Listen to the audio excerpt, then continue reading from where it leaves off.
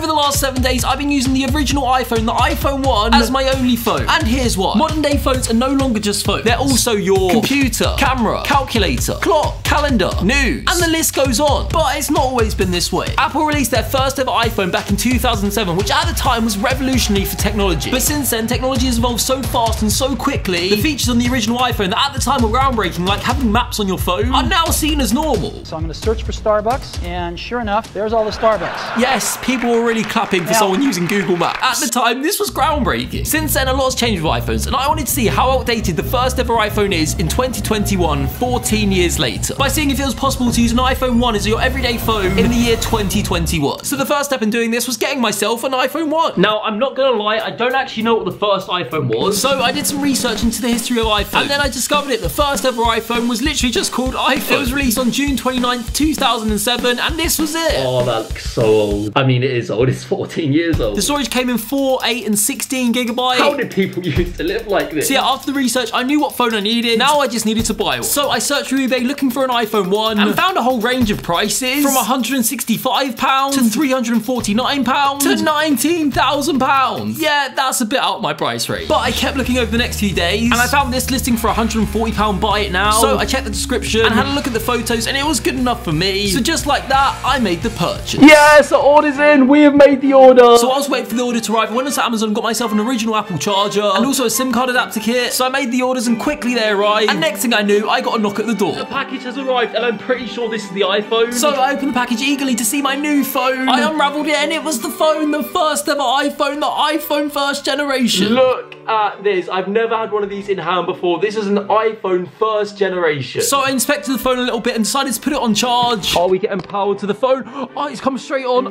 Oh, oh, oh my gosh, it is here, guys. So it was time to have a closer look. So here was home screen, it had all the old app icons from messages to calendar to photos to camera to YouTube, which spoiler alert doesn't work anymore. So all the other apps are pretty basic, apart from the music app, which was called iPod, which came with one album by the Chemical Brothers with all these songs. Who are the Chemical Brothers? I then took a side by side my iPhone 1 and my iPhone 10, and here's how that looked. And then I discovered the worst thing of all. Wait, there's no front cap. There's no front camera on this. So I took a 2007 selfie. I then decided to check the App Store to see if I could download any apps. Oh, you got TikTok. You can literally get TikTok on the iPhone 1. Yeah, I may have spoke too soon. Oh, no, I can't get it. It requires iOS 9.3. I'm gonna have to go a week without a TikTok. How am I gonna survive? It was also the same for other social media apps like Instagram. This app is incompatible with this iPhone. No, we can't get Instagram. So I tried to use a desktop version on Safari. However, they wasn't having any of it. Safari cannot open this page because it's not established a secure connection to the server. Twitter really said you're too broke to use Twitter. So at this point, I was rethinking this whole video. So I did some research and it turns out this app store doesn't really work anymore. So yeah, the next week won't just be with an iPhone 1. It'll be with an iPhone 1 with no extra apps. But yeah, I then spent my last few hours on my iPhone 10 making the most of it, making the most of the apps I had that I wasn't gonna be able to use for the next week. Before I started day one of using the iPhone 1. Alright guys, I've just woke up and today is the day that I put my iPhone 10 away forever. Well, not forever, for a week. So I removed my SIM card from my current phone and put it into an iPhone 1 using the adapter. Turn the phone on. New voicemail! It worked! It actually worked! I then opened the package I ordered for Amazon, which was a safe. Here we have a dictionary book safe. It looks like in the dictionary, however you open it, it's a safe. I then gave my phone one final kiss and said my goodbyes. My phone is locked away in the English dictionary, and for the next week, I cannot use it. I'm gonna miss you. So on that note, it was time to get on my day with the iPhone 1. So first things first, I wanted to test if the phone actually worked. So I decided to phone my mum. Okay, it's ringing. Oh, what does that say? Call forwarding active. Okay, it's ringing. This is a good sign. Hello? Who's that? Yeah, as you can see by my face, this is not my mum or anyone that I know. Yeah, it turns out I typed the wrong number and accidentally called this random guy called Terry. Yeah, I don't think I got the right number. So sorry, Terry. So I checked and realised I typed my mum's number wrong. But on the bright side, it works. The phone actually works. I then tried to check the 2G internet and this happened. could not activate your cellular data network. You're not subscribed to a cellular data service. Oh, no, no, no, please, no. Oh, don't tell me I've got no internet for a week. Yeah, I've got no internet for a week. I looked up this issue and went through all the the settings to change it. No, it still didn't work. Oh, why? Why iPhone? But from what I can work out, my network doesn't support 2G internet anymore, and this phone only has 2G internet. Yeah, at this point, it's basically just an iPod that can make phone calls. But yeah, I tried to fix this, but it just wasn't working, and I had to go. I had a dentist appointment booked, so I had to leave for that. All right, so I just got into my car to go to the dentist. I went to put my music on my aux. However, usually when I do it, I have to use this adapter on my wire because new iPhones don't have headphone ports. However, this iPhone does. So I can put this straight into here. Look at that. However, the only issue was we only had one album from the Chemical Brothers. So I drove to the dentist, listened to my new favourite band, the Chemical Brothers, and after an enjoyable ride, we arrived at the dentist to where I was told to wait and wait and wait, with my only entertainment being an iPhone 1 with no apps. But we came out, I got my new retainer, so I then drove back home, listened to the Chemical Brothers once again. And for the rest of the day, I just looked through Instagram, a bit on my computer, and played some Xbox with my cat. She doesn't judge me for having an iPhone 1. And then I headed to bed, ready for day two. And just like that, it's the morning. So day two started with me having no notifications on my phone. Some things never change. I then had a look at my usage for the day before, and I used the phone for a total of an hour and 59 minutes. And to be honest, the majority of that time was me trying to fix the internet. So I then sorted out some orders for my merch, catfish clothing. Make sure you check it out if you haven't already. But I had a few orders to package, so I packaged them up. And I headed to the post office. And guess what I was listening to? The only people on my phone. The Chemical Brothers once again. But yeah, I got to the post office, I sent the parcels, headed back home, listening to the Chemical Brothers once again. And as you can see by my face, I was really trying to enjoy it, but I just had enough. There's only so much Chemical Brothers one person can take. So when I got back, I plugged my iPhone 1 into iTunes and tried to sync my music onto the phone. See if it works. Here we go. Unlock. Come on. Give me some Clairo. Yes, here we go. We've got Clairo. We've got George Mason and Harry Styles. Honestly, an iconic group. That's right, it worked. The next thing I needed to do was to connect my AirPods so I could listen to the music. AirPods Pro. Yes, come on. Yes, it's connected. Wait, wait, wait. I can't believe I connected AirPods Pro to the iPhone 1. So I put the AirPods in and played some music, and this happened. Yeah, it wasn't playing through the AirPods, it was playing out loud. This isn't coming up. It's going through my AirPods. So I tried to check the settings, see if it disconnected, but it wasn't, it was connected. So I tried to phone my mum to see if it would work as a phone call, and it did. It's going through my AirPods. So Bluetooth earphones only work for phone calls. Wait, let me try music now. Why don't they work for music? Apple! What were you thinking in 2008 or whenever you released this phone? After all this work, I'm gonna have to use wires. Everyone's gonna think I'm broke. Yeah, I don't think the wires are what people are gonna think I'm broke for. It's the fact I'm using an iPhone 1 in the year 2021. But I grabbed my wires and I headed out. I planned to go meet my friend Dominic, who's a jewelry designer, and he was gonna gift me one of his rings. So I ran and made my way there. And first thing I noticed, I couldn't use Apple Pay to get on the train because this phone doesn't have Apple Pay. So I had to use my card. But I got in. I then sat down and listened to music through my wires. Yeah, I then got on the train and sat down down and I noticed there was a sign, free onboard Wi-Fi. This is perfect. This was just what I needed. So I got my phone out and tried to join. However, of course, it didn't work. I don't know why it wouldn't work because I couldn't Google it because I had no internet. But Transport for London, this is a disgrace. Why won't you let my oh. iPhone 1 join your Wi-Fi? So for the rest of the journey, I had no internet, but at least I had my cousin Harry Styles playing in my ears. And eventually I arrived. So we may have a problem. I don't know where I'm going right now. I got sent the address I'm supposed to be meeting, but I can't put it into the iPhone 1 because I've got no internet. So I wandered around London like a lost dog. I had no idea where I was going. But this would be a lot easier if I just had internet on my phone. But luckily I came across some Boris bikes. I had a map next to them. So I worked out where I was and followed the map and kept checking ones along the way to make sure I was going the right way. And after a long confused walk, we made it. I met up with Dominic, we did a trade. I gave him a t-shirt and he gave me the ring. And I made my way back to the station and then this happened. Well,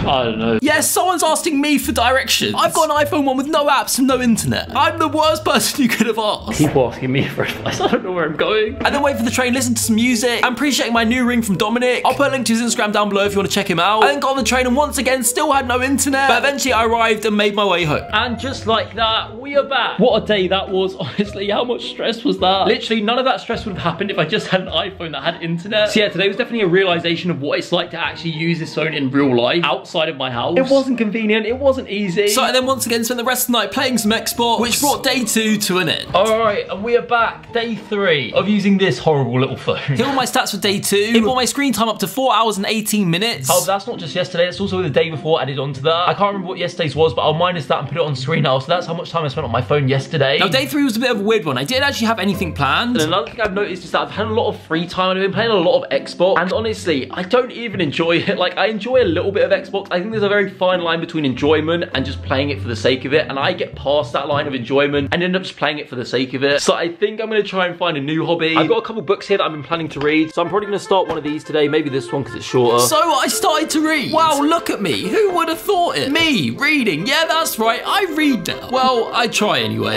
Guys, I'm bored. I read about five pages. I just can't do it. I don't know what it is. I think TikTok has messed up my brain. My attention span is just so bad. I can't focus. Ah, Um, I don't have anything else to do. That's the thing. I've literally got nothing else to do. I can go onto my computer. I can go on Instagram. I can go on WhatsApp. I can go on YouTube. But I don't want to. I miss my phone. Yeah, this was the first time I started to feel withdrawal symptoms from not having my phone. I was bored, I had nothing to do, and all I wanted to do was get on my phone and just waste time. And that's the one thing I couldn't do. So that's all I got up to for the rest of the day. Lying on my bed, hugging a safe that looks like the English dictionary. Yeah, not my proudest moment. And next thing I knew, it was day four. All right, it is now day four of the iPhone 1 challenge. Four days too many. Genuinely, yesterday, I literally didn't use my phone. I charged it in the morning because the battery's low. And for the last 20 hours, I've used it for four minutes. The thing is, there's nothing to do on this, especially when I'm at home. Like, if I was out on the train, yeah, there was nothing else I could do. So this was the only entertainment I had, so I had to write notes. But when I'm at home and I've got my laptop, I've got my computer, it's very easy to just put this to the side and be like, okay, if I want to Google something, I'll just use my laptop. It's a much more pleasant experience. Googling stuff on this takes ages to load. Half the websites don't work. It's just not fun, honestly. Now for this day, I plan to film a second channel video, so I did that. Hello and welcome back to the second channel. Back at it again. Quick little plug, by the way. If you haven't already seen my second channel, make sure you check it out. Make sure you subscribe. I upload weekly funny sit-down videos on there. So if you want to see more of me, make sure you subscribe to the second channel. All right, so I've now finished filming the video now, and I've actually just made a discovery. I went to camera, went to make a video. However, there's no option for video. I can take a photo, but there's literally no option to take a video. It literally has a camera on it, but it only takes photos. I mean, to be fair, it also allows AirPods, but only when you make calls. This phone is a bit weird. So what I've done is I've looked online, and it turns out you can take videos, but you have to jailbreak the phone and get a special app. So I searched how to jailbreak an iPhone 1 on YouTube. I followed the tutorial. Some weird things happened. Oh my gosh, look at this. This is supposed to happen. But I unlocked the phone and it worked. We had the Cydia app. I went onto that and searched for this app, Cycorder, which is a video app, and installed it. It's downloaded. Okay, this is the moment of truth. Is it going to work? Here we go. Let's open it. I want to make a video. it worked. We can record video now. So I can film a video. I, I'm going to switch over to this now. Now, this is the iPhone 1 video. Honestly, it's so bad. I turned the audio off for a reason because it sounds even worse than it looks. So I'll just let you hear a bit of that now. Shrek with me. As you can see, I've got my camera here. But you can tell this phone was not made to make oh. video because it's oh, so shaky. It has no stabilization at all. So we had done it. We had got video on the phone. And then ended the night with some reading. Oh. I hope you're proud of me. And that was the end of day four. Now, day five was a busy day. To start off, my usage of my phone wasn't working anymore. I don't know if the jailbreaking broke the phone. But it wasn't important. Today, we had a lot of stuff to do. I'm gonna go meet a couple of my friends. We're gonna go for a bike ride, which should be fun. Only problem is I have to get a train to get there. And we all know how that goes with an iPhone 1. So yeah, I'm gonna take my book for some entertainment on the train. And I've planned ahead I've said to meet outside the station because I don't want to repeat of last time. I don't want to get lost again. So I got ready, got my book in my bag. I ran to the station, got on the train, and of course had to flex my book. Yeah, I don't know if I told you, but I read now. And I had a great time. Who needs an iPhone when you've got a book? And then after a while, I arrived and I met my friend. I then surprised them by showing them the iPhone 1. I did not expect to hold this. Yeah, they were not expecting to see an iPhone 1 today. So they both inspected it, a 14-year-old phone. I then took a picture of them, which actually came out quite good. That is not bad. And then after that, we wandered around London. I then found another Boris bike map, but today I wasn't using the map. We were getting the bikes out, so I rented them and we took it out, and I was cycling. Yeah, that's right. I also cycle now. I may not have an iPhone 10 anymore, but I read now and I cycle. So we rode around for a bit and we ended up in this park with this weird swing thing. So I had to have a go. 10 out of 10 would do again. We then wandered around even more and found this vintage shop. There was vintage clothes everywhere. However, the one thing there wasn't was vintage phones. I was the only person in the shop with a vintage iPhone, which is the biggest flex of them all. So after asserting my vintage dominance, we left. I made our way to Hyde Park where we found some parrots that you could feed. So I got some nuts and tried to feed them myself. However, I wasn't so successful. I stood around and I stood around and I stood around, but they just wasn't eating from me. However, eventually I got the courage to come close.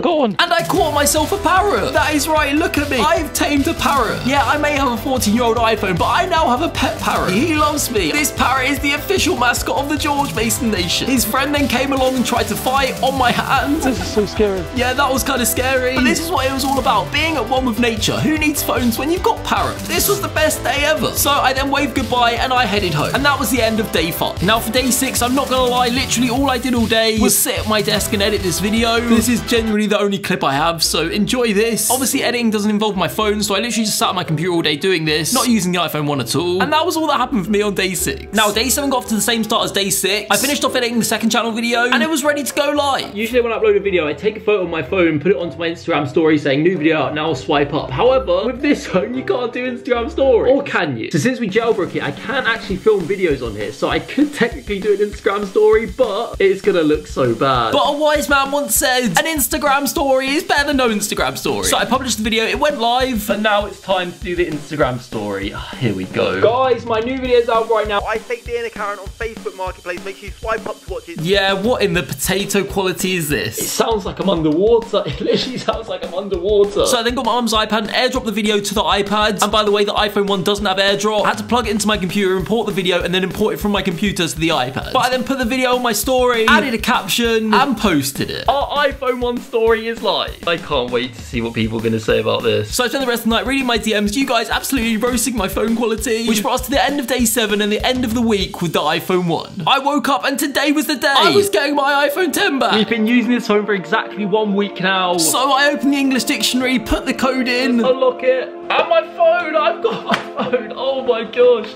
I've missed you. This feels so big. Oh, I feel like I'm on an iPad. Literally, over the last week, I've got so used to this phone. This phone feels so big. It feels so nice. It feels so much lighter. I'm going to blur my notifications, but I've got so many notifications, genuinely.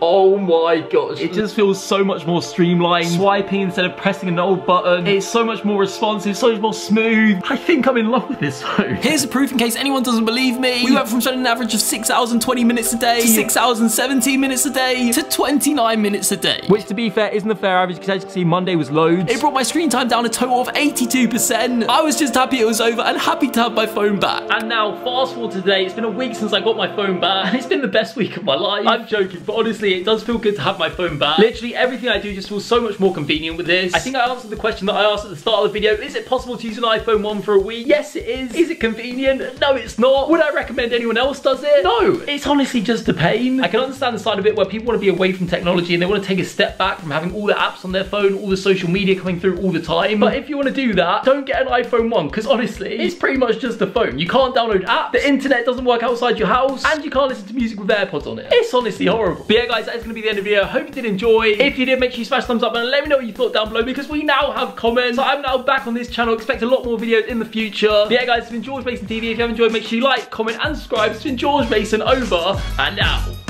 Someone say catfish? Yeah, that's me. I look six foot, but I'm five foot three. Take a look at my Insta, and you might see a model, a rich kid, but that's not me. I just know my angles and how to pose when in reality, just look at my nose.